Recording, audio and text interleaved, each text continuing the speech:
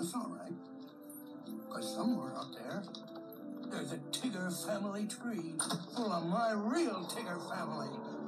I've got a letter to prove it. And I'm gonna find them.